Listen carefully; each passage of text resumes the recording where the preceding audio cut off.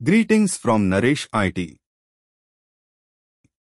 We are excited to announce our new batch on UI full stack web development with React Classroom and online training, led by our experienced faculty member Mr. Sudhakar Sharma.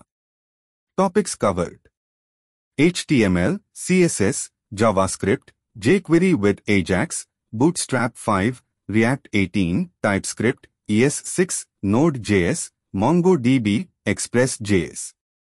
The batch is scheduled to start on 7th September at 9 am. This is a wonderful chance to increase your knowledge and experience in the industry. Don't miss this opportunity to expand your knowledge and experience. Just scan the QR code for a quick registration procedure. Join us today and push your career to new heights.